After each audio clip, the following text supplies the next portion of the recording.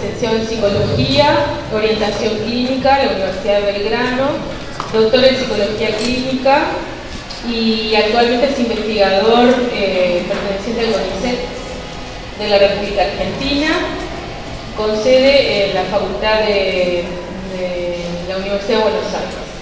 Es director del equipo de investigación en Psicología Clínica, Departamento de Investigación, y bueno, ha recibido nosotros recibimos el extenso currículum en que ha recibido distintos premios y distinciones tanto nacionales como internacionales. Para nosotros es un profesor conocido porque ya ha venido a, colaborar con nuestros posgrados en, el área de las maestrías y nos pareció este, bueno, una buena oportunidad para traerlo nuevamente y poder este, intercambiar sobre experiencias y específicamente la conferencia tiene que ver o está titulada Escenarios futuros de la psicoterapia y su investigación. Eh, le dejamos la palabra, obviamente que hay una hora de disponibilidad que la iremos o la irán manejando en función este, de, de su exposición. También del cansancio del público. Antes que nada, buenos días.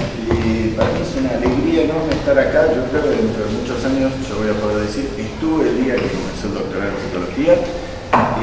es una alegría por múltiples cosas. Recién comentaba, eh, eh, cuando el doctorado de la Universidad de Buenos Aires es uno de los doctorados más nuevos de la Argentina.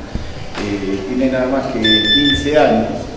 Y yo estaba en ese momento participando en ese doctorado, con lo cual muchas de las cosas que estuvieron charlando hoy, muchos de los comentarios son comentarios que yo escuché, puedo predecir un montón de problemas, un montón de soluciones, recién lo hablábamos y lo comparábamos con los dolores de crecimiento, así que son esos dolores que vale la pena, realmente eh, van a entrar a un lugar eh, muy lindo, yo creo que el doctorado, eh, como dijeron ahí, no, no solo no es el punto final de la formación académica, sino que en todo caso es un, pivote fundamental en la formación profesional, pero no solo de los académicos, ya que mucha gente que hace el doctorado luego no sigue en la academia y enriquece todo el ámbito profesional justamente con las herramientas que obtuvo en el doctorado.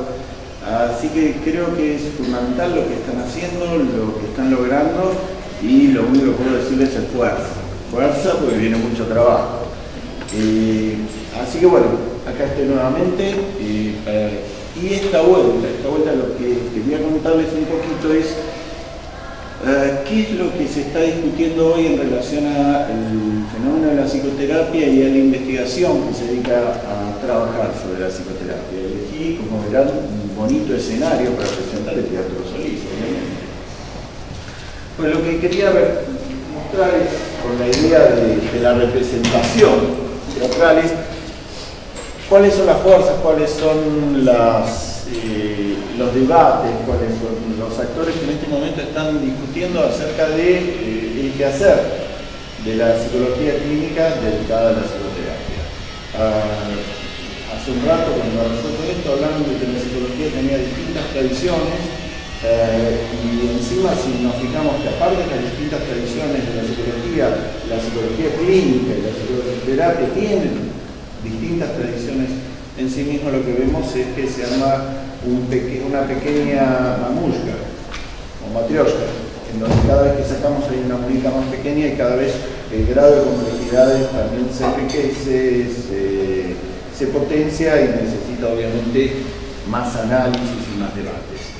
La idea de tratar de hablar cuáles son los escenarios futuros tiene, tiene una convicción básica. De ninguna manera estoy pensando en una visión de carácter determinista, histórico, todo lo contrario. Lo que estoy diciendo es, estos escenarios de los que voy a estar hablando tienen que ver con lo que nosotros estamos discutiendo, con lo que ustedes van a investigar en este doctorado, por ejemplo. Tiene que ver con todo lo que vayamos a introducir y un montón de decisiones que podemos tomar como representantes de esta profesión y sobre todo un montón de información que nosotros podamos generar a través de nuestras investigaciones para que la sociedad en sí también pueda tomar decisiones sobre nuestro quehacer como psicólogos clínicos. Es decir, la idea de que lo que está por venir está por construirse y que si prestamos atención a cuáles son nuestros flancos más débiles, podemos potenciarlos, si prestamos atención a cuáles son eh, nuestras fortalezas, les podemos dar un espacio mucho más grande y sacarle mucho más el jugo. Básicamente, y como sé que acá hay gente que no proviene del área de psicología, viene bien refrescar, la investigación en psicoterapia, eh, y acá yo estoy hablando en, en, un término sumamente amplio, no estoy hablando de un tipo de investigación en psicoterapia, lo van a ir viendo a lo largo de esta charla, sino que estoy hablando de todo aquello que acepta ser englobado dentro del término psicoterapia, y entonces tiene múltiples formas de investigación, en realidad se remite, se remite a las siguientes preguntas. ¿La psicoterapia funciona? ¿Cómo funciona? ¿Por qué funciona? ¿Para quién funciona? ¿Cómo podemos mejorar ese funcionamiento? ¿Cómo podemos articular ese funcionamiento? ¿Funciona en todos los contextos igual? ¿Funciona, funciona distinto? En ese sentido podemos discriminar claramente la investigación orientada al paciente y al contexto del paciente, la investigación orientada a la figura del terapeuta y la investigación que justamente analiza el vínculo. Y todo esto a su vez, todo, a su vez, lo podemos pensar desde las visiones de investigación de carácter teórico hasta las investigaciones de carácter experimental, por ejemplo, aplicadas a la investigación en psicoterapia como corolario de esta pequeña presentación, si hay algo que sabemos a esta altura del partido, es algo que ya sabíamos los clínicos hace muchos años, pero ahora podemos demostrar. La psicoterapia funciona. ¿Qué quiere decir esto? Tenemos suficiente cantidad de evidencia, palabra que vamos a repetir varias veces hoy, o por lo menos yo la voy a repetir varias veces. Hay bastante evidencia para poder decir, mire, hacer psicoterapia es mejor que no hacer nada. Y es significativamente mejor. Y no solo es mejor en términos de resolución sintomatológica, sino es mejor en términos de vida, sino en términos de calidad de vida del contexto que lo rodea. Es decir, hay numerosas piezas de información que nos permiten decir en voz alta eso que ya sabíamos. Y ese decirlo en voz alta tiene que ver con que socialmente hay muchos actores que nos preguntan, pero esto que ustedes hacen, ¿tiene sentido? ¿Tengo que financiar esto? ¿Tengo que proponer que la sociedad en sí esté expuesta a esto? Con lo cual, las primeras respuestas que podemos llegar a dar sí, vale la pena, la psicoterapia funciona. Ahora, como deudas que empezamos a tener dentro de lo que son las metodologías de investigación, psicoterapia y propiamente el campo de la psicoterapia, todavía nos falta saber mucho mejor los diferenciales de qué acción psicoterapéutica es mejor en cada situación. Y esta situación puede ser situación de orden psicopatológica, pueden ser situaciones de orden sociales, etcétera, etcétera todavía tenemos una deuda muy grande, porque todavía, todavía sigue pesando, sigue pesando eh, un, dictamen muy fuerte que es a la hora de comparar todos los estudios que evalúan la eficacia en psicoterapia, las diferencias entre las distintas acciones y, la mejoría se difuminan. Entonces, los metaanálisis generales en donde se evalúa las diferencias entre acciones psicoterapéuticas en distintos contextos no terminan marcando diferenciales claves.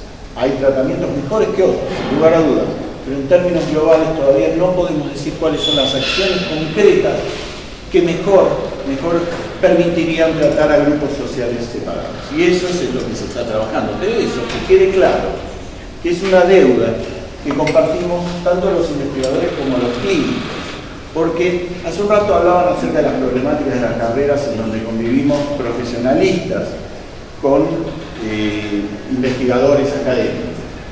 Y el asunto es que nos venimos pasando esta pelota hace muchos años y generando una brecha entre clínicos e investigadores que por momentos no solo no tiene ningún sentido, sino que desacredita bastante toda la tarea que llevamos adelante. Entonces, la idea fundamental es que los investigadores entendamos que tenemos que desarrollar metodologías acorde al objeto de estudio que necesitamos. Acá hay varios chistes tendientes a fortalecer esta idea de, está bien, eh, si mi objeto de estudio tiene una forma, yo no puedo imponerle una metodología que lo atraviese y lo destroce.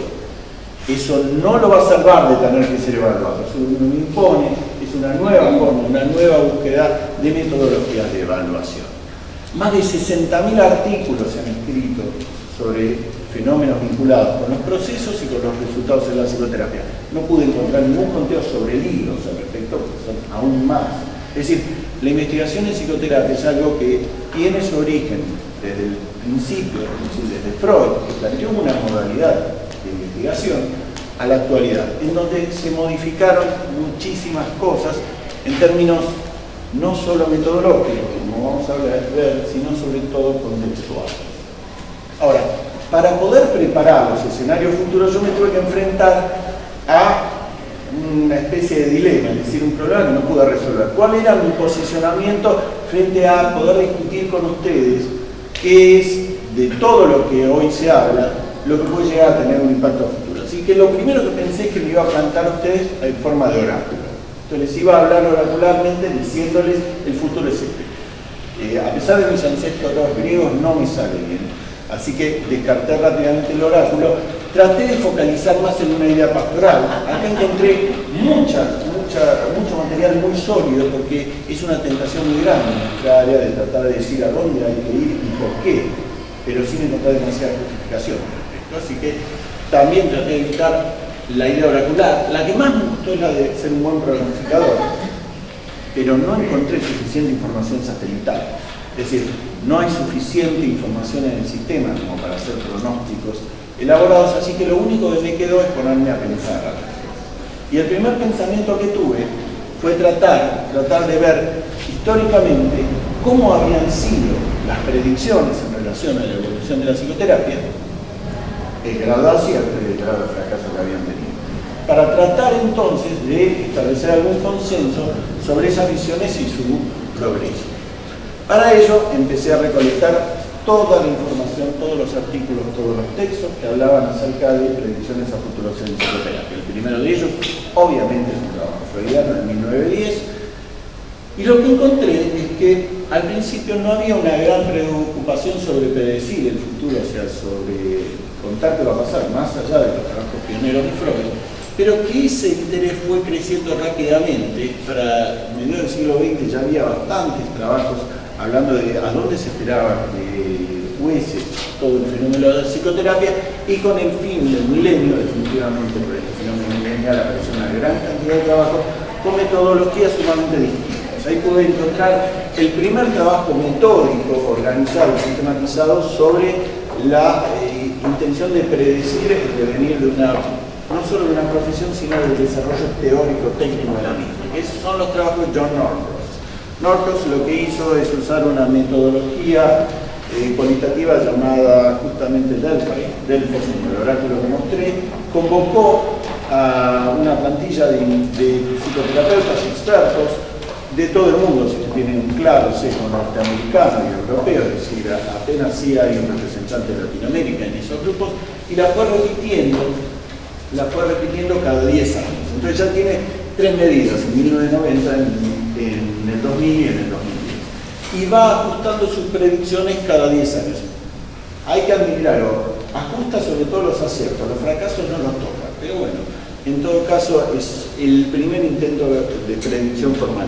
Y el otro trabajo de predicción que cierra un poco la, la bibliográfica que hice para esto es un trabajo de Alan Cathy, eh, que utilizó una metodología muy distinta.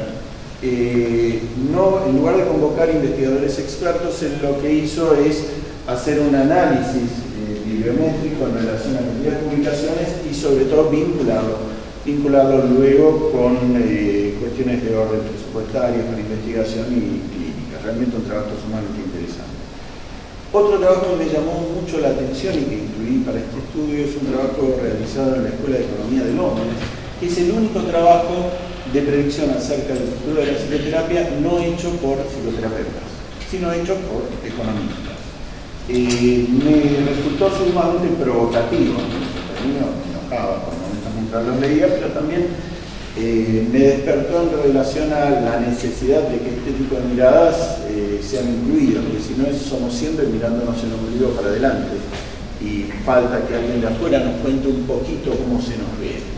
Así que básicamente lo que hice es aproximadamente a los 150 artículos me detuve porque ya la información saturaba, no había una gran diferencia y me senté a ordenarlo. Si ven algunas caras de algunos predictores, acá está Aaron Beck, ni más ni menos, acá está Jeremy Safran, hay figuras de renombre sumamente importantes que tratan de contar un poquito qué es lo que ellos ven en el futuro. Pero básicamente se las puede agrupar en los mismos tres grupos que presenté hace un rato. Es decir, una cantidad de personas que sin argumentación demasiado sólida sostienen que la psicoterapia va a ir para ese lado.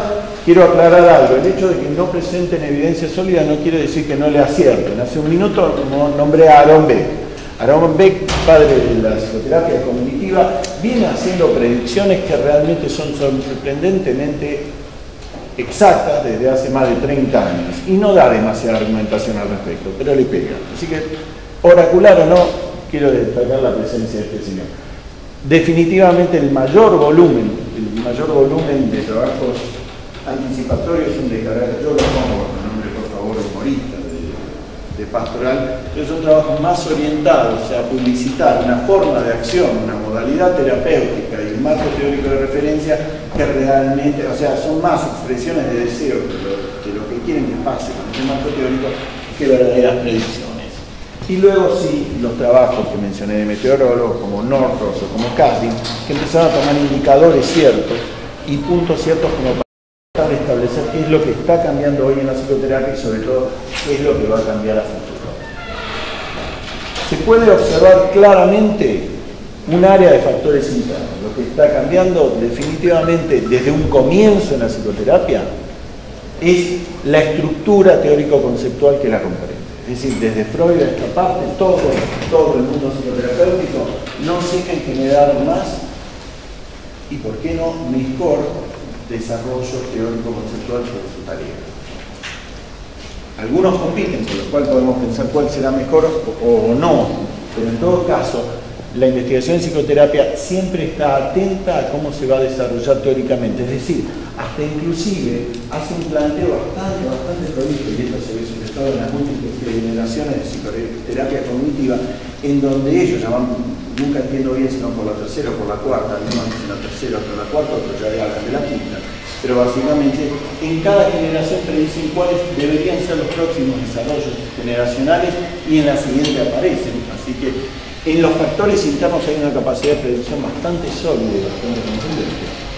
En términos de lo que sería un núcleo, ya no central, sino que rodea a los desarrollos teóricos conceptuales y a la definición ¿cierto? de lo que es la psicoterapia, aparece todo un mundo que se vincula con el contexto en el que se desarrolla la psicoterapia ejemplo de esto son los criterios diagnósticos. Los criterios diagnósticos con los que trabajan los terapeutas tienen su origen en los marcos teóricos y en las estructuras procedimentales que utilizan. Sin embargo, sin embargo, todos ustedes saben que existe el CIE-10, existe el DSM, y todos esos criterios que son trans teóricos afectan a la psicoterapia, la perturban, la obligan a modificar su forma no solo, no solo de plantarse frente al paciente, sino también de generar evidencia. Hace aproximadamente un año y medio, viene con un poco más de historia, pero el nacimiento formal inquisitorio, el NIMH, es decir, el Instituto de Salud Mental de los Estados Unidos, que es el ente financiador más importante de investigación clínica en todo el mundo, es decir, el NIMH solo financia más investigación que todo el mundo junto. El, NIMH dijo, yo ya no voy a financiar más investigación que use criterios diagnósticos del DSM ni del ICD-10. Yo voy a usar lo que se denominan Research Domain Criteria, es decir, criterios de dominio de investigación, que son fundamentalmente fisiológicos. Si bien dejan una columna para lo psicológico, social, son de carácter fisiológico. Esto generó, generó un pequeño terremoto, no por ahora en nuestro, en nuestro lado del río, pero buena parte de la investigación en psicoterapia en los Estados Unidos se quedó sin financiación de un día para el otro. Gente como Jeremy Safran dijo, ya nuestra carrera se ha terminado. Me parece un poco terminado. Pero la idea central es que impusieron una nueva nomenclatura diagnóstica basada en, nosografías fisiológicas, cuando esas nosografías fisiológicas aún no estaban preparadas para identificar patología. Con lo cual, lo que se encontraron los investigadores que pretendían usar esta, estructura, es como una grilla, es una estructura de hipótesis, de entrenamiento, en realidad es horrible, lo que se encontraron todos aquellos que querían hacer investigaciones con esto es que no podían, eh, no podían evaluar de ninguna manera la psicopatología que estaban trabajando. Es decir, por atrás se volvió a colar el DSM, etcétera, etcétera. Pero la realidad es que así como en la década del 80 pocos de nosotros hubiésemos pensado que el DSM sí, se iban a meter en nuestra vida, bueno, es muy probable que todos estos nuevos criterios psicopatológicos estén influyendo en nosotros dentro de 10 años y estén cambiando nuestra forma de hacer psicoterapia, o por lo menos de presentar nuestra psicoterapia en términos sociales. Para esto, sí. Perdón, y los diagnósticos nuevos sistemas como los OPD2, PDM, ¿qué Bien, eh, me encanta. El PDM, el OPD son claves, son piezas estructurales diagnósticas que mantienen el corpus teórico de origen, en este caso de orden psicoanalítico, con dos visiones muy distintas de cómo trabajan con el OPD no es solo diagnóstico, sino también de planificación de tratamiento, el PDM no. El asunto que si me detengo en eso, hacemos una cosa, otro día organizamos un seminario y nada más sobre criterios diagnósticos y traigo, hay muy buenos trabajos sobre OPD y PDM, inclusive acá está Ricardo Bernal, que trabaja mucho Estamos trabajando con él, pero eh, la pregunta era si la financiación también quedó fuera de esos Pero ya la financiación para la investigación en psicoanálisis de parte de la NIMH era un milagro así que no les afectó para nada a los investigadores en psicoanálisis, porque ellos ya no recibían financiación. Pero donde no tuvo capacidad alguna de predicción en todos los textos que pude observar es en relación a los factores externos. El fracaso absoluto de todos los trabajos de predicción que vi fueron, todos se centraron, ya sea en los desarrollos teóricos, ya sea en el cinturón que los rodeaba, pero para nada pudieron ver lo que estaba pasando en términos y acá pongo el ejemplo más claro, y que trabaja mucho, por eso lo puse en especial, lo resalté en especial ese trabajo, la aparición de las tecnologías y la modificación de la psicoterapia en la psicología. Entonces, casi todos los trabajos se orientaban al interno, muy poco de mirada contextual, muy poco de trabajo interdisciplinario, que hablaron tanto que es fundamental, y el problema que también veo es que casi todos los análisis han sido realizados solamente por psicoterapeutas expertos. Solamente. Y yo me pregunto si realmente el psicoterapeuta experto es el único o inclusive el más indicado para hablar, porque estos expertos, que son grandes popes de la psicoterapia, eh, ven una cantidad muy acotada de pacientes, grupos muy especiales de pacientes, y realmente están bastante lejos de lo que es el trabajo del psicoterapeuta cotidiano con lo cual se vuelve a generar una distancia enorme entre lo que se hace, lo que se dice que se hace. Empieza a haber de nuevo una, distancia muy grande entre los trabajos de investigación y lo que ocurre en la práctica cotidiana. ¿Cuáles fueron los temas más recurrentes? Los temas más recurrentes en todos los trabajos de predicción fueron la interacción, competencia con la medicina primero y después con el psicofármaco a partir de la década del 50, la coexistencia de distintos marcos teóricos empezó a generar todo este fenómeno de querer imponer un marco teórico sobre otro o de presentar evidencia en relación al marco propio versus el alieno.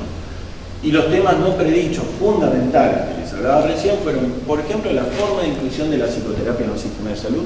Eso no está incluido en ningún trabajo y ocurrió de hecho como fueron incorporados en los sistemas, por ejemplo, de, aseguradoras norteamericanas, en nuestros sistemas de medicina eh, es decir, el sistema privado de salud, de los sistemas públicos, ocurrió de hecho sin ningún tipo de reorganización por parte de eh, los digamos, las asociaciones profesionales que nuclean a los psicoterapeutas. Es decir, siempre trabajamos por detrás. Una vez que nos instalamos en el hospital y cambió nuestro setting ahí, empezamos a repensar nuestra práctica, por ejemplo, en un hospital.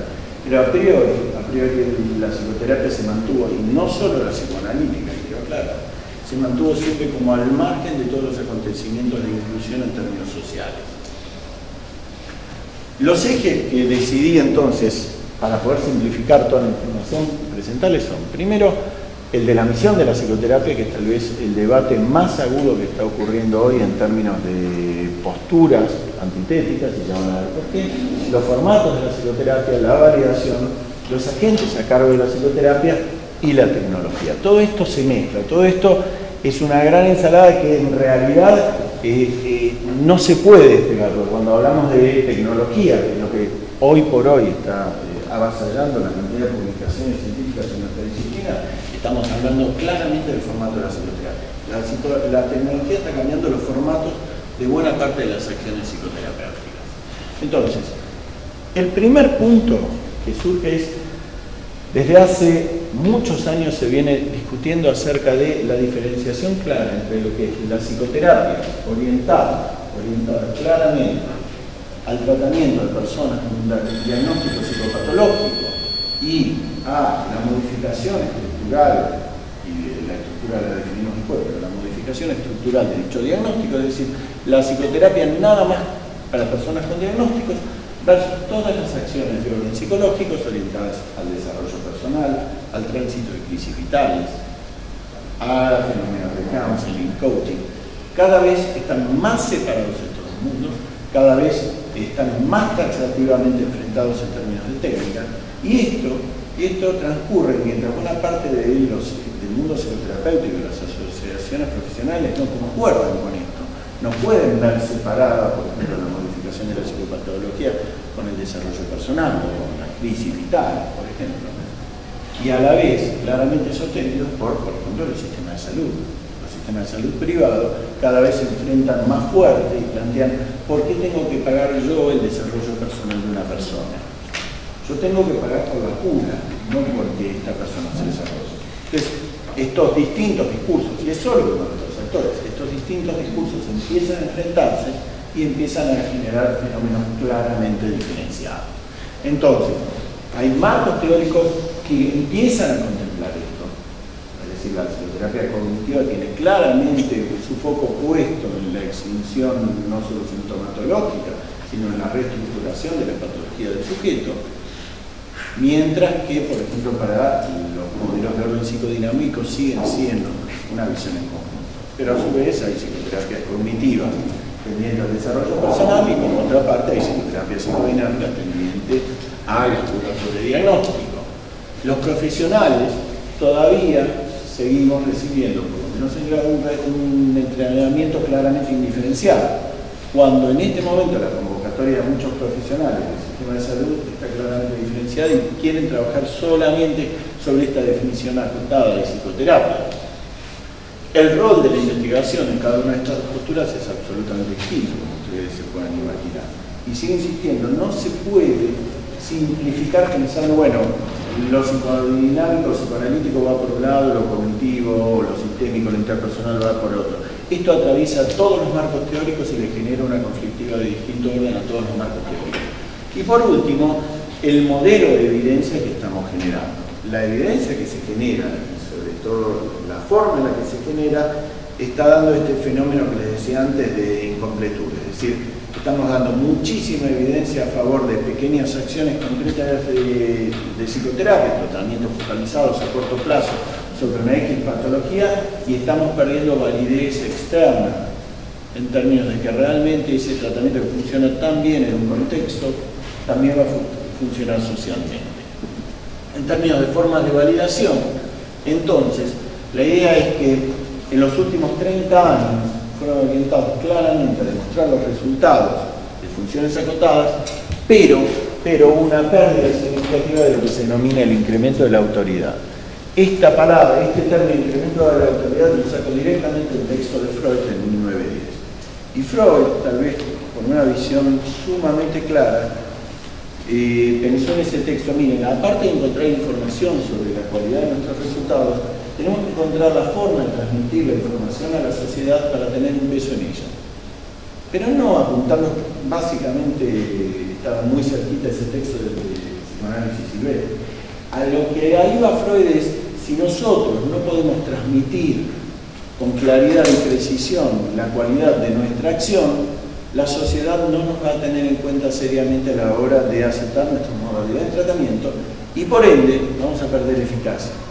Y por ende, no por un fenómeno de sugestión propiamente dicha, sino por un fenómeno de lo que es lo que abarca los tratamientos psicoterapéuticos, vamos a vernos debilitados frente a otras posibilidades. Con lo cual, una de, las ideas es que hoy por hoy, y en marcos muy diferentes al psicoanalítico, se está trabajando sobre cómo incrementar la autoridad de la psicoterapia, pero por favor, no en un término autoritarismo, sino cómo hacemos para que la información que tenemos se asocie mejor con la información que maneja el resto de la sociedad, el resto de la comunidad científica. A mí me siguen impresionando mucho todavía algunas terminologías como investigación básica, investigación fundamental. Todavía eh, cuesta mucho entender que eh, la investigación que generamos, por ejemplo en psicología clínica, tiene aspectos de psicología básica, tiene aspectos fundamentales. Todo depende del dispositivo metodológico que hayamos usado en ese momento, en ese determinado momento. Con lo cual hay que generar metodologías más abarcativas, interacción con otras disciplinas. Celebro que haya alguien trabajando del área de las neurociencias, celebro que haya gente que esté eh, cruzando los puentes. En la única forma en la que vamos a encontrar entonces metodologías más abarcativas, pero no porque dependamos de una scan para algo, entiéndase, sino porque dependemos de toda una red de trabajo, no nosotros, todos los este fenómeno que mencioné hace un rato, la disociación entre investigadores y clínicos, que es un tema que se viene debateando hace 40 años y todavía no avanzamos mucho. En todo caso, gente como Louis Castaway, en mi opinión, ha empezado a generar fuentes sumamente interesantes porque ha empezado a decir, bueno, olvídense de rellenar la brecha que separa. Entonces generemos un espacio nuevo de trabajo entre psicólogos e investigadores. Este doctorado en la Universidad de la República puede ser un excelente lugar para que clínicos investigadores interactúen, que se generen esos espacios de interacción que propone eh, por ejemplo. Y después, y después, tenemos que ser mucho más activos sobre la elaboración de los criterios diagnósticos. Ahí agradezco tu mención del TDM y del OPD, porque en realidad, como ámbito de psicoterapia en general, hemos estado demasiado pasivos frente a propuestas de alta complejidad, como fueron DSM, primero porque en, el origen del DSM había una clara presencia de una psicoanalítica, psicodinámica, que se mantuvo hasta el DSM-3 en forma claramente abierta, pero cuando se empezó a perder, nadie empezó a hacer una contrapropuesta en términos formales, y recién las últimas reacciones son las del PDM, pero tienen menos de 5 años, y OPD un poco más. Pero ahí sí, si no somos más proactivos en términos de la información que damos sobre los criterios diagnósticos utilizados, vamos a quedar sumamente marginados. Yo creo que estos eh, research estos, esta, esta nueva estructura de hipótesis planteada eh, desde lo fisiológico nos da una puerta de entrada muy buena porque podemos llegar, rápidamente va a quedar en claro que buena parte de esas hipótesis van a quedar inconclusas, de hecho, así lo ellos mismos. Cual vamos a poder presentar una cantidad de argumentación sumamente sólida para generar un criterio diagnóstico acorde, acorde a nuestra creencia de lo que es la psicoterapia, siempre y cuando nos pongamos de acuerdo que es la psicoterapia.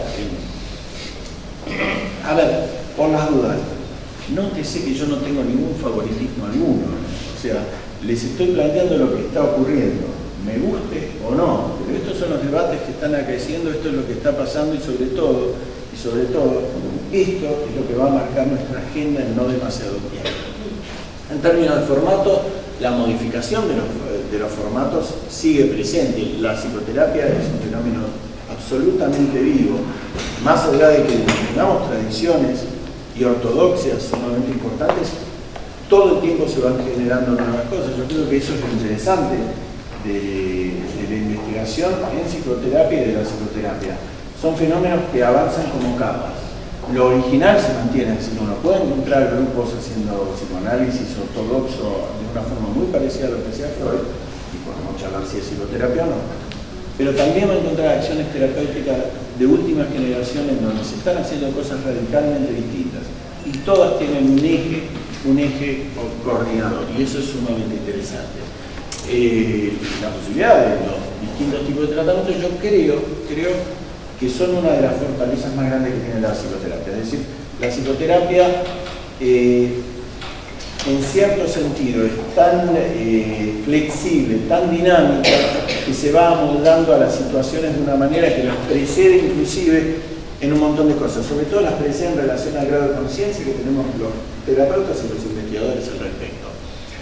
De hecho, de hecho, fíjense que una de las grandes disputas del principio es quiénes son los agentes a cargo de la psicoterapia y cuáles son los límites de la acción de un psicoterapeuta.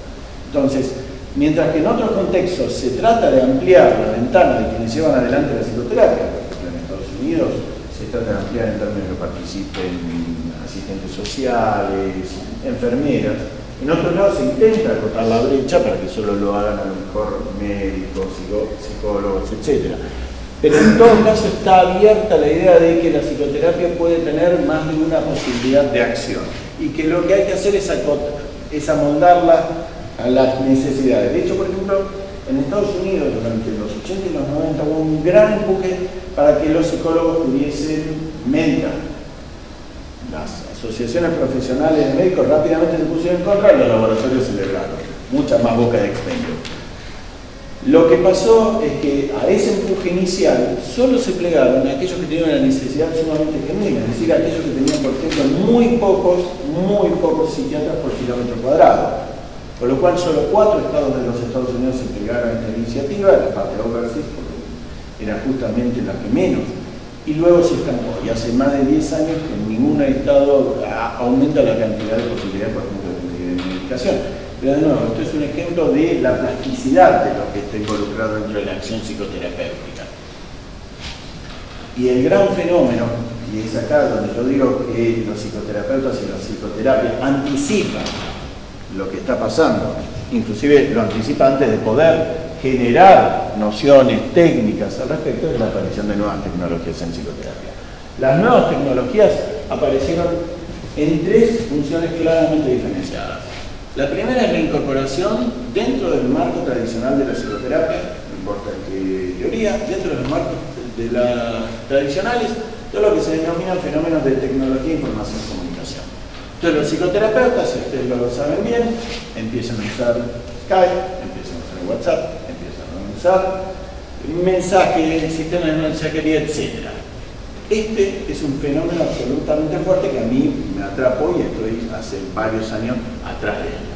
Otro nivel de uso son los tratamientos virtuales, expresamente diseñados para que un terapeuta los aplique en un paciente. Entonces van a encontrar eh, tratamientos virtuales para fobia volar, por ejemplo, tratamientos específicamente diseñados para que el psicoterapeuta los trabaje con su paciente.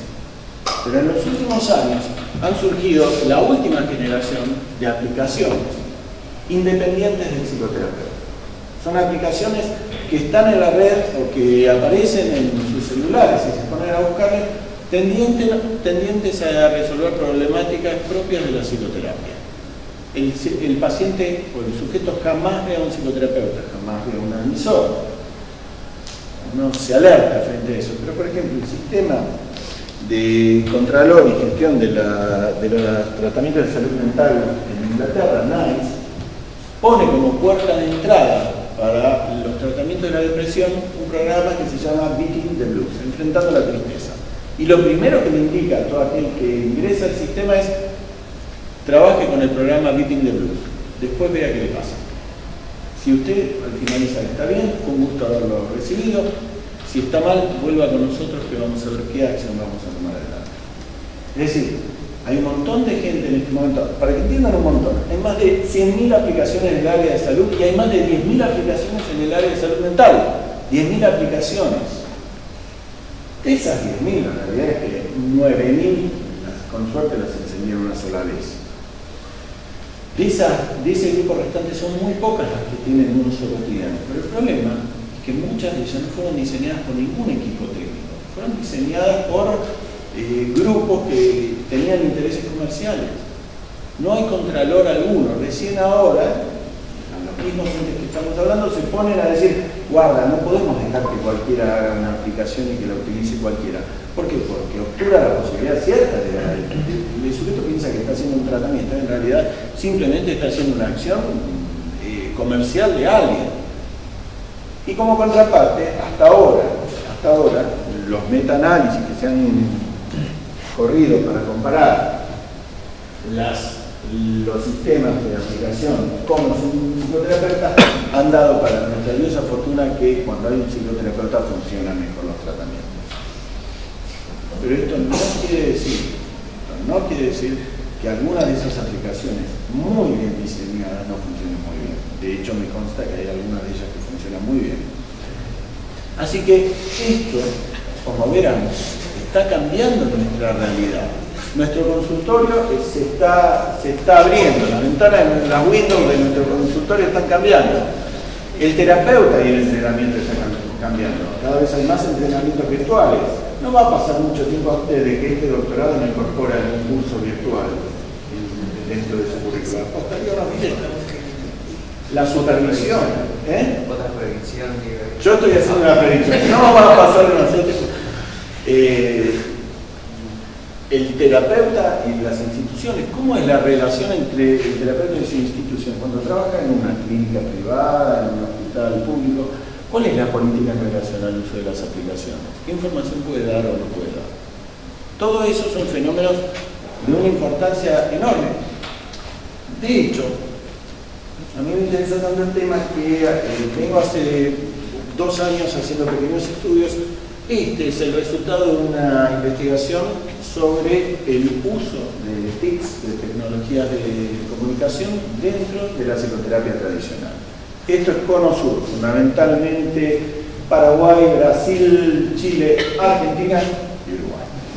Todavía me faltan uruguayos, así que van a recibir el mail a ver si me contestan. ¿Eh? Eh, psicoterapeutas, de niños y de adultos, de distintos marcos teóricos, de distinta edad, de distinta experiencia. Esta- les voy a presentar nada más que una pequeña... Les, les- quiero tirar de gancho a ver si a alguna le interesa. El segundo grupo que es que no conozco el. WhatsApp, Ah, WhatsApp. ¿Se vio?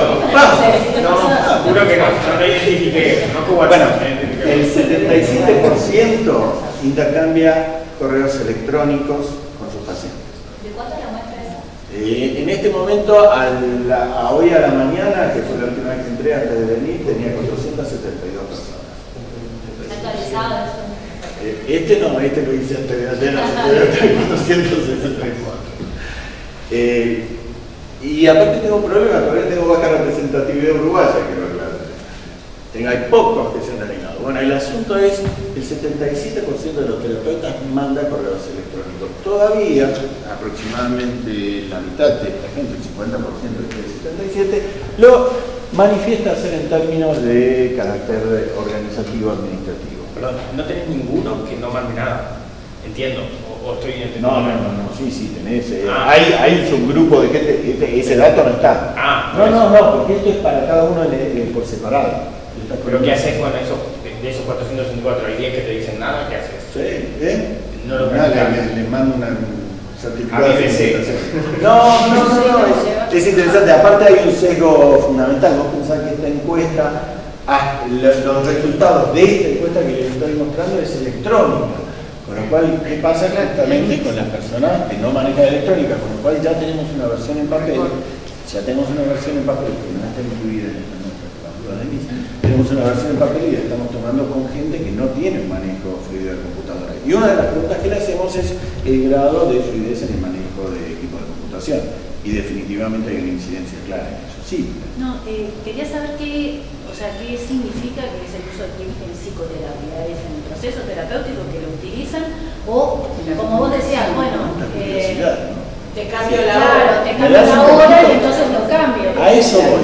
La mitad, la mitad de las personas que dijeron, por ejemplo, que el correo electrónico lo usan, lo usan para, para cambiar horario. Pero la otra mitad, por ejemplo, dice que tiene un intercambio fluido de información, que va desde, por esto se- lo preguntamos, desde eh, ideas, eh, qué le está ocurriendo en la cotidianeidad, música, intercambio de música, ambos, terapeutas mandan música, pacientes mandan música, eh, notas de los- del diario, eso es una de las más presentes, eh, notas que vienen en los periódicos, eh, fotos, muchísimas, muchísimas fotos, es decir, y obviamente escalas, los terapeutas, no los pacientes, los terapeutas mandan escalas para completar. Sí, no falta mucho. Y ahora vas a ver por qué lo digo. El 92% usa WhatsApp. Y no solamente para en términos administrativos, te diría que casi la mitad también usa WhatsApp para mantener una vía de comunicación abierta con sus pacientes. De nuevo, intercambiando no solo pequeños mensajitos, sino también enviando, por ejemplo, la- las cosas que permite WhatsApp, como por ejemplo emoticones, como por ejemplo fotos, etcétera, etcétera. Así que eh, el- el- si- los sistemas, digo WhatsApp, pero acá tenemos que incorporar WhatsApp, Telegram y todos los sistemas de mensajería instantánea. El 42% usan, navegan, navegan en Internet con sus pacientes durante la sesión. Después hay un grupo mucho más grande que le da tareas de navegación a sus pacientes, pero el 42% navegan adentro de Internet. Y las tareas que hacen navegando son tan abarcativas como abrirle una cuenta en Facebook a su paciente, hasta ponerse a buscar lugares de vacaciones con su paciente. Digo, Y irse de vacaciones juntos todavía. Ninguno. Recuerden que esto es solo lo que admiten haber hecho los pacientes, no la realidad. No sabemos a dónde llega. Como verán, este simbolito del alce es el de Facebook. 10% aceptan todas las los pedidos de amistad de sus pacientes en Facebook. Y hasta un 25% aceptan algunos de sus pacientes en pedido de amistad de Facebook. Ahora estamos discriminando entre eh, los terapeutas que tienen un perfil profesional separado del perfil personal, pero hasta ahora este dato no está discriminado. Y el 34% utiliza la metodología de comunicación virtual más antigua que tenemos, que es el Skype. Fundamentalmente lo usan para continuar tratamientos una vez que los pacientes no están en el mismo contexto. Pero hay gente que ya está comenzando tratamientos del vamos por Skype. Estamos hablando del cono sur. Esta realidad es muy distinta cuando nos vamos a otros países, que es mucho más grande. Capaz que lo vas a decir, así que puedo a. Eh, ¿Tenés cruce con, con experiencia, por ejemplo? Con Tengo Ah, incluso una experiencia, pero me vas a tener que invitar de nuevo acá a la iniciativa para que si no, no buena respuesta. Es más, eh, yo soy miembro de una sociedad que se llama Sociedad para la Investigación en Psicoterapia, SPR, Society for Psychotherapy Research. Ahora, en junio, tenemos nuestro congreso anual que se hace en Estados Unidos, en Filadelfia. ¿Alguien va a ir de acá? Yo, es muy importante que los investigadores uruguayos, yo quiero que vayan ustedes, eh, No, los a investigadores uruguayos participen, que tienen excelentes investigaciones, eh, y también a los regionales, a los, congresos, re- a los congresos regionales latinoamericanos de la SPR, y justamente estos detalles, y ahora fuera de chiste, cualquiera que quiera más información sobre esto, después me lo pase y yo le mando, estamos llevando los resultados de este estudio ahora a Filadelfia. Así que, pero el dato más fuerte que yo quería compartir con ustedes, en términos de lo que es eh, bastante contraintuitivo, porque esto yo se lo pregunté a, a- sobre todo a pelea esto de los psicoterapeutas expertos, es muchos pacientes nos confiesan que nos han googleado como terapeutas. Pero ¿qué pasa a la inversa? El 35% de los terapeutas admite que googlea a sus pacientes. Es mentira. ¿Eh? Es mentira. ¿Vos decís? Ah, bueno, Mucho más. mucho más. Bueno, eh, por eso vos fíjate, la sutileza la admite. Ahora, lo interesante es que cuando uno les pregunta por qué lo hacen, ellos dicen, ah, bueno, razones de seguridad, quiero ver quién entra a mi consultorio, quiero chequear si lo que me dice es cierto, quiero ver hasta qué punto eh, ¿Lo es que le capaz. dice el paciente o Google? Qué buena pregunta. No, lo que ellos tienen más, mira, parecería que hay más confianza en Google que en qué raro. Prometo meditar sobre que está diciendo. Eh, Mira si te aparece, lo chequeas en Google y te aparece, no sé, buscado por la policía, algo por el bueno, estilo. que básicamente. Por matar Ahora, psico- ustedes piensen psicoterapeuta. Las problemáticas que surgen. Una, una terapeuta cuenta que llega a su paciente con una sonrisita y le dice, la encontré en Facebook vestida de enfermerita hot en una fiesta de clase. Esas son las problemáticas, esas puede ser, en todo caso uno puede intervenir y puede trabajar sobre eso. Pero que tiene una gran problemática. puede ser- era mi hermana melliza. Ustedes no saben, por ejemplo, las problemáticas vinculadas con el envío de mensajes eh, confundidos. Pensé que le estaba mensaje a mi paciente, a un amigo y se lo mandé a mi paciente, Sí, inversa. Un paciente diciendo, yo te estaba contando a vos un problema de infidelidad y se lo mandé a mi pareja. Bien, entonces todo esto abre la puerta a un hecho. Los psicoterapeutas avanzan aún antes de lo que está pasando. No hay ningún marco teórico, no hay ningún protocolo técnico psicoterapéutico que indique googlear al paciente. Al día de hoy, lo, les juro que soberanamente lo busco para ver quién lo va a...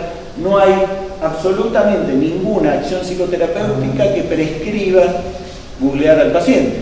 Entonces, definitivamente lo hacen como parte de una dinámica de transformación de lo que es el fenómeno de la psicoterapia. No hay, en, nuestro, en nuestra región no hay ningún centro que enseñe el uso de tecnologías de información y comunicación en psicoterapia.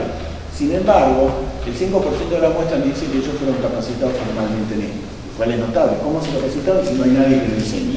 Hay, este, AUREF hay un grupo ¿Ves? Siempre- que, que está Bien agarrado. planteando la, para utilización de los tips ¿Pero para- están enseñando? Sí, sí, en eh, Son los efectos de, vivir en un país con el plan Ceibal. de psicoterapia de niños. ¿Ven? ¿Ven qué importante? Claro, ven qué importante. Entonces, definitivamente ya no puedo decir esto último digo. A lo mejor esos que me respondieron fueron a Uruguay. Ahora tengo que chequear que haya sido Uruguay.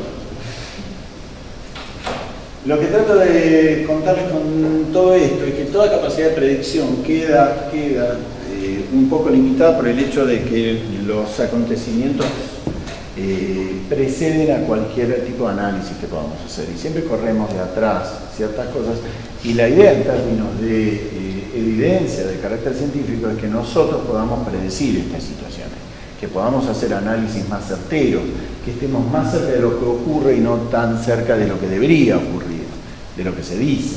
Entonces, básicamente yo creo que los desafíos fundamentales que tenemos hoy por hoy son primero reformular todo lo, que son los patrones éticos en relación al uso de nuevas tecnologías, por todo esto que les estaba contando, el entrenamiento, creo que hay que repensarlo, celebro y voy a estudiar mejor lo que me contás sobre Oded, Eh, el encuadre, a ver, eh, más un terapeuta me dice ya no sé qué hacer con este paciente, me escribe todo el santo día. Bueno, va a tener que re- reformular el encuadre, también económicamente. ¿Cómo se maneja? ¿Cómo se incluye esto? Te cobro. por cada mensaje. que Claro, te cobro, te cobro no por mensaje. sí. Cobrar por cada mensaje. Bueno, yo les cuento, yo les cuento que en Estados Unidos ya existen contratos que incluyen todos los aspectos de cuidado ético en relación a que tiene que firmar el paciente, pero también la, ca- la categorización de honorarios por uso de tecnologías asociadas. Así que esto que vos decís ya está ocurriendo. Por ahora los que cobran por mensaje son los abogados, no los psicoterapeutas. Sí, y mucho, mucho mejor que nosotros.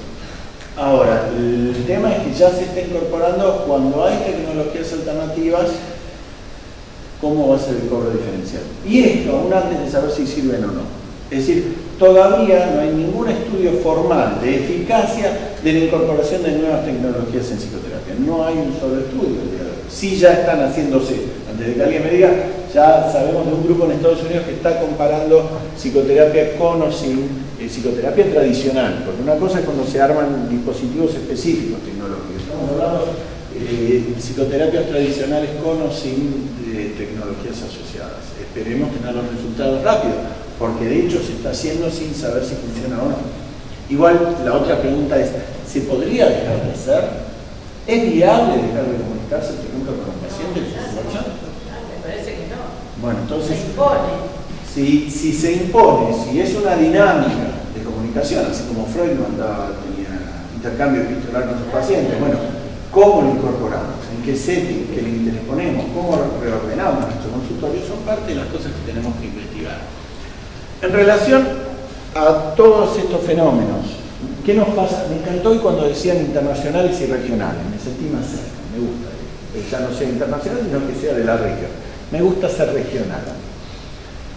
Eh, desafortunadamente, y digo desafortunadamente en un sentido de situación, eh, todavía en términos de región somos absolutamente dependientes de lo que ocurra a nivel internacional.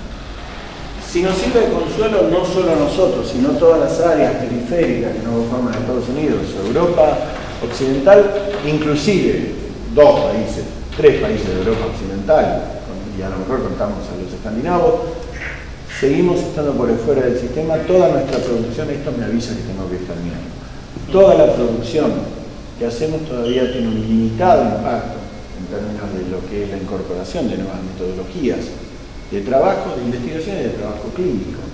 Eh, todavía se nos lee poco, tal vez porque no publicamos, tal vez en inglés, porque nos eh, autolimitamos muy grande y también porque hay una dificultad muy cierta de que eh, ciertos grupos de trabajo incorporen modalidades. Un ejemplo claro, así no queda en lo latinoamericano.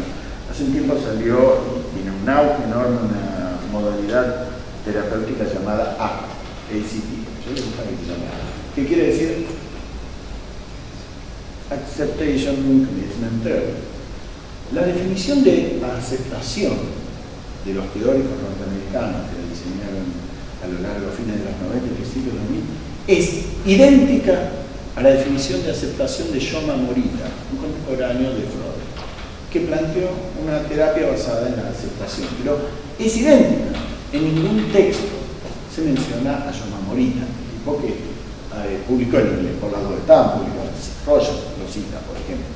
Entonces se diseña, inclusive el, fenómeno del compromiso también es involucrable en hacer lo que se debe hacer, se diseña una acción concreta sobre una definición teórica de uno de los pioneros de acciones de carácter psicoterapéutica, que pocos de ustedes conocen, pero que el tipo tenía un peso formidable en el mundo oriental, y no se toma en cuenta, por ejemplo, uno de los pioneros, y ni se lo menciona. Bueno, lo mismo nos ocurre todavía para que alguien mencione la teoría de campo de los Banangé, por ejemplo, por fuera de nuestra región, es un milagro y sin embargo marca buena parte de la agenda de investigación, por ejemplo el psicoanálisis, pero la teoría del campo sigue siendo mencionada por muy poca gente. Digo, un, desarrollo bien rioplatense, así se entiende. Hace poco descubrieron a Blecher en un cuadro. Hace poco, bueno, lo que pasa es que Blecher tampoco escribía en inglés, por lo cual es muy difícil encontrar a alguien. Ahora el hijo de Blecher está trabajando en eso. Entonces, todavía estamos demasiado encadenados y todavía nuestro devenir está absolutamente asociado a lo que pasa en los países centrales y ahí yo tengo un cuestionamiento claro. Entonces, en relación a los escenarios, recuerden, todo esto no deja de ser eh, una idea para debatir con ustedes, no les estoy diciendo que va a pasar, exceptuando lo de los cursos virtuales. La misión de la psicoterapia definitivamente está dos versiones de la psicoterapia, una orientada nada más que a la cura de, personas con un diagnóstico psicopatológico versus otro grupo de acciones psicológicas, yo creo que por toda la evidencia se va a ir profundizando. Sin embargo, también se va a profundizar el debate sobre ello. Con lo cual, yo declaro algo así como un empate en esto. O sea, eh, gente como David Barlow, por ejemplo, cada vez este, está armando más modelos genéricos protocolizados para que lleven adelante los psicoterapeutas. Sin embargo, cada vez más son los contragrupos que están diciendo no vamos a trabajar sobre modelos protocolizados genéricos, sino individuales. Entonces, frente a cada acción hay una reacción. Eso es lo que estoy tratando de transmitir. Entonces, yo creo que se van a diferenciar claramente y otro subgrupo va a trabajar para que esa diferenciación quede anulada. Con lo cual, en todo caso, pase lo que pase, yo veo un potencial de crecimiento enorme para la psicoterapia. Eh, la psicoterapia se involucra más en la acción comunitaria, política y en el cambio social. Esto realmente es un hecho ya consumado. Está ocurriendo hace más de 20 años eh, y yo creo que la tecnología, que es el, factor que más anuncia Cathy para ello, la tecnología va a brindar un potencial enorme para ello. No que va a anular al consultorio del psicoterapeuta, sino que va a expandir al consultorio del psicoterapeuta. La cantidad, por ejemplo, de aplicaciones que se están empezando a desarrollar con problemáticas sociales, como por ejemplo la adicción, son formidables. Ustedes saben lo que es llevar una aplicación que el sujeto eh, predetermina una cantidad de información y si se acerca donde está el dealer, el que le vende la droga, el sistema primero le manda un mensaje a la persona y luego le manda a los otros significativos que le involucró. Entonces empieza a haber toda una red de trabajo que cambia absolutamente la visión de lo que es la acción psicoterapéutica en términos sociales. No estoy diciendo que todo sea bueno, estoy diciendo que todo eso está, como hablábamos hace un rato, se impone. ¿Qué vamos a hacer con esa imposición? Es otro tema. Eh, las guías de trabajo se convierten en parte de la rutina diaria de la práctica clínica. Cada vez están más instalados los protocolos, cada vez están más instalados eh, los formatos ciertos, ya que termine.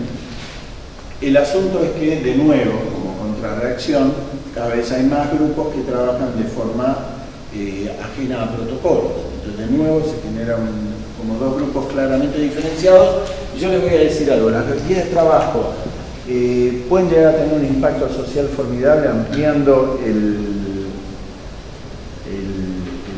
entorno la receptividad de la sociedad en relación a la psicoterapia, o pueden generar un fenómeno de estancamiento si son guías de trabajo cerradas, eh, a modo de manuales, sin, sin opciones y carecen de flexibilidad, porque cada vez son más resistidas por todos la, los psicoterapeutas que las tienen que utilizar. Y lo que termina pasando es que las usan mal, con lo cual ni trabajan libremente ni trabajan protocolizadamente. En relación a la validación, eh, definitivamente hay una tendencia en este momento, la cantidad de estudios clínicos eh, al hacer que se están llevando adelante se está reduciendo, con lo cual podemos prever que tarde o temprano va a terminar este monopolio de RCTs, de estudios clínicos al azar. Un momento, yo he hecho estudios clínicos al azar, yo hago metaanálisis, para que quede claro que no es que estoy en contra de esto. Digo que si solo vamos a basar la evidencia de nuestro accionar en estas dos cosas, no va a funcionar. De hecho, no funcionó. De hecho, la American Psychological Association, que fue la asociación líder en fomentar este tipo de investigaciones, hace cinco años tuvo que salir a decir ya no da más. No encontramos la información que buscamos, así que tenemos que cambiar. Ahora falta que se enteren los investigadores y los entes financiadores. Eh, esto es una declaración ideológica, para hacer la validación de una técnica tenemos que hacer traducción contra traducción, base validación teórica, validación de constructo, validación ecológica, tenemos que hacer una cantidad de pruebas. Ahora podemos agarrar un protocolo de tratamiento de Estados Unidos, traducirlo y utilizarlo y decir que está validado. Esa es la realidad que se está viviendo hoy por hoy. A ver, entiéndame, yo creo que muchos protocolos, sobre todo para patologías severas, con simplemente traducirlos y adaptar bien el idioma van a andar, ¿eh? Pero para otras patologías, yo trabajo con trastorno de ansiedad generalizada.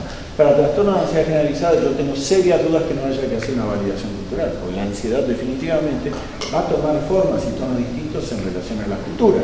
Con lo cual, simplemente traducir un protocolo, irse a formar a Estados Unidos, venir a aplicarlo acá y decir está validado, es una realidad que apunta hacia una extinción cierta y sobre todo una, un fenómeno de tendencia muy grande. En relación a los agentes de target, esta predicción la hizo Aaron Pérez. Lo que dijo es, miren, lo que vamos a tener probablemente en un futuro, yo le digo con lo que le viene pegando Don Aaron, yo le prestaría atención, lo que vamos a tener en un futuro va a ser una primera línea de, de recepción de las personas con problemáticas en el área de salud mental que va a ser tratada virtualmente por distintos modelos de aplicación, no necesariamente por una aplicación web. Puede haber todo un sistema administrativo de recepción que lo guíe en términos virtuales. Si el paciente no mejore con, él, ello, va a haber un grupo, una segunda línea de psicoterapeutas generalistas que lo van a estar recibiendo. Y si no funciona con esa segunda línea, va a haber una tercera línea de hiperespecialistas. Esa es una de las vías que más se está viendo en términos formales y que más se está aplicando en estándares en países como Inglaterra o en algunas partes de los Estados Unidos. Todavía a nosotros nos queda lejos, pero vamos a ver cuánto nos queda lejos. ¿Puedo decir que si voy un médico general a ver un psicólogo general que te va Claro, eso es una de las... No psicólogo, psicoterapeuta. psicólogo no, psicoterapeuta. Sí, va a haber, permitime, voy a hacer inclusive otra analogía, un psicoterapeuta de trinchera, ni siquiera sé si general, de trinchera va a ser una primera línea, lo cual también trae asociado otros análisis econométricos, porque esos terapeutas no van a tener ni la misma jerarquía ni la misma formación que los especialistas, y es todo un debate muy fuerte, entonces podés como generar dos clases de psicoterapeutas, a nivel técnico y a nivel profesional, y eso es bastante polémico y a mi entender bastante desagradable. Y sobre todo, a ver, y sobre todo y aún peor, no hay evidencia alguna que te diga que vaya a funcionar bien. O sea, no hay evidencia alguna que, a ver, hay análisis hechos sobre la eficacia y en realidad es sobre la efectividad de tratamientos llevados adelante por psicoterapeutas de alto prestigio versus eh, psicoterapeutas, no diría sin prestigio, pero en todo caso no con un prestigio marcado y las diferencias no son significativas. Me quedé pensando cuando ponías la otra en relación a la comunidad y la política, ¿no? la, la expansión de la Sí. psicoterapia. Evidentemente no podemos pensarla por fuera de los diseños de política sanitaria, de No los debemos. sistemas. Claro. Digo porque eh, de- en Uruguay es bastante nuevo el sistema integrado de salud que ha incluido y que nos está haciendo, nos estás enterado en estos momentos, seguimos pensando en las formas de inclusión de la psicoterapia a nivel público y privado dentro del sistema sanitario. Y va a depender mucho esto, en realidad esto que voy a decir, bueno, el- el- la recepción virtual, qué sé yo, de hecho, se hace y se hace en forma personal. Si de esa graduación está el equipo de recepción a nivel público y privado, el- lo que vos llamás el psicoterapeuta generalista es el psicólogo que hace la psicoterapia, pero bueno, hay derivaciones a equipos.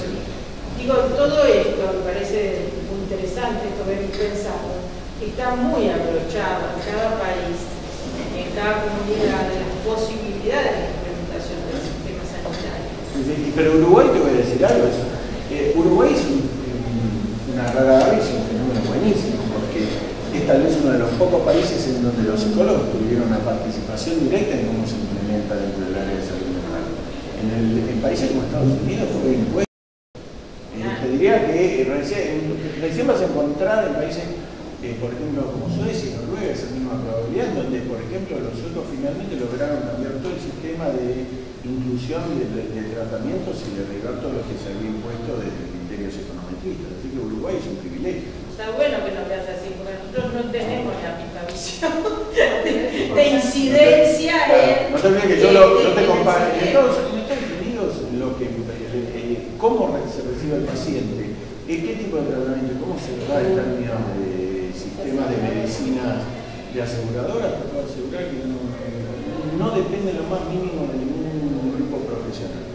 de psicoterapeuta. Así que yo ya sé, uno siempre cuando se ve a uno mismo dice, che, debería haberme peinado. No, lo que mejor". falta. Pero yo les puedo asegurar que en contraste con otros países, Uruguay es realmente muy bueno, no solo en eso, en unas cuantas cosas es muy bueno. Sí, lo que pasa creo que también es que para armar el plan este, nacional mental intervinieron, o sea, fue interdisciplinario, quizás no con la misma fuerza, esa manera, y los comités de recepción justamente intentan integrar psiquiatras, psicólogos, digo, está, la letra está. Lo que pasa que en el momento de la instrumentación, y como están en juego aspectos económicos y de poder de- de- del sistema privado más que nada, sistema mutual, ahí, bueno, se pervierte. Sí, también hay tradiciones previas que siguen enquistadas, también hay montón de, ahí hay un montón de cosas que, que pre- preexisten y que entonces influyen. Pero la verdad, eh, lo que hay, a ver, permítanme mostrarles el medio vaso lleno desde el otro lado del río. Eh, yo en un montón de cosas lo veo como un muy buen modelo y sobre todo muy mejorable. O sea, tienen una potencial de, a ver, cualquier forma de modificación del- de la prestación del sistema de salud en la Argentina conlleva, por ejemplo, todo un trabajo en relación a lo gremial, la gremial que por momento lo imposible. Es, es realmente feroz. Y digo un ejemplo de la parte que menos me preocuparía, mucho más me preocuparía, por ejemplo, los intereses económicos en juego, por el momento lo vuelve absolutamente inviable.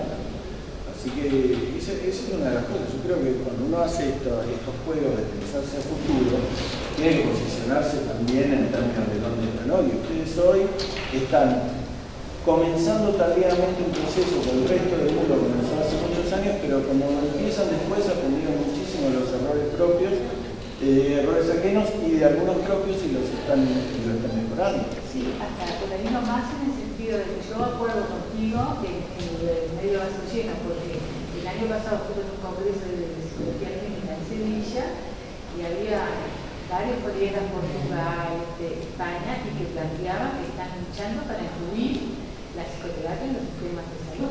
O sea, ustedes se imaginan la cantidad de países que no cuentan con ningún tipo de acción psicoterapéutica dentro del sistema de salud. Así que brindemos por nosotros que sí los tenemos. Ahora la tenemos que mejorar, obviamente. Yo creo que ya estoy súper extendido, así Andrea, les pido disculpas, pero... Bueno, ah, acá hay un fenómeno muy grande. Todavía, todavía, por lo menos no fue, no, no me manifestaron esas sus caras, pero cuando yo estoy presentando estos resultados en el grupo de colegas, hago, algo equivalente pequeño de focus group, para que se den una idea, para sacar información. La cara de horror de ciertos grupos ortodoxos en relación a la visión de la tecnología en la psicoterapia tradicional es enorme. Y muchos de ellos ya me ha tocado que no se levanten y me digan, el único vínculo posible es el, vínculo transferencial que se da en consultorio, nada más sirve en el tratamiento y se puede. Eso que le dicen, no, bueno, está bien, es su visión y, la respeto, pero lo que decíamos recién, no es viable, es viable, ciertamente, pensar que no, no le vas a mandar un WhatsApp a tu paciente. O sea, dice, eh, hoy por WhatsApp o por lo que sea, eh, y esa es una de las cosas que yo creo que más pone en riesgo a ciertos grupos. Yo creo que va a llevar a la extinción, porque no van a poder comunicarse con los pacientes, ¿entiendes? No van a encontrarlos si no abre una cuenta de WhatsApp. Claro. ¿Por qué, ¿Por qué me llama por teléfono pudiéndome mandar un mensaje? ¿Por qué me colgó el visto y no me respondió? Pregunta.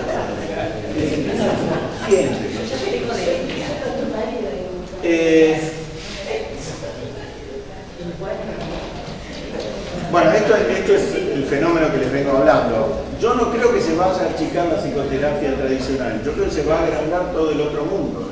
No creo que se vaya a agotar la cantidad de psicoterapeutas a futuro.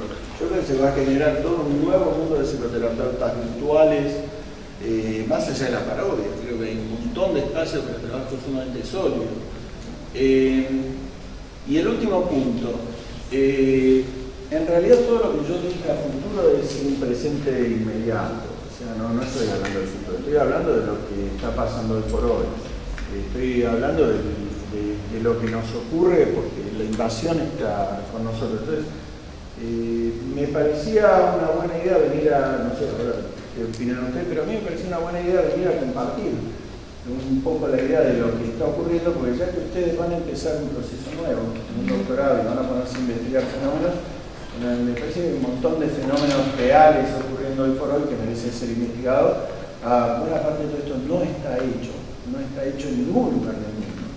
No está hecho. En español no tenemos, por ejemplo, aplicaciones virtuales, ya se están desarrollando las primeras, pero aún no hay aplicaciones, como todos ustedes entendieron, para trabajar con niños son formidables Con lo cual eh, hay todo un espacio de trabajo no solo de la tecnología, del pensamiento, del posicionamiento que es la psicoterapia, ¿qué queremos que sea la psicoterapia? Pues no es cuestión de que venga alguien a decirnos tu psicoterapia va a ser esto. Es construyamos juntos socialmente qué queremos que sea la psicoterapia. Tampoco se la vamos a imponer nosotros al resto. Va a tener que ser consensuado, pero si nosotros no tenemos argumentos, no tenemos evidencia cierta, y la evidencia amplia, no en términos de nada más un, desarrollo metodológico, vamos a ir perdiendo, perdiendo predicamento, vamos a dejar el espacio a otros, así como hay programadores que se animan a armar aplicaciones de salud mental sin consultar a un profesional, lo cual me resulta de terror. Si no ocupamos esos lugares, lo va a ocupar cualquiera. Así que, eh, este fue mi intento de transmitirles todo lo que queda por hacer para investigar en, en el área de psicoterapia. Sé que el doctorado va a incluir otras investigaciones, en otras áreas, a las cuales leeré y disfrutaré mucho más. Gracias.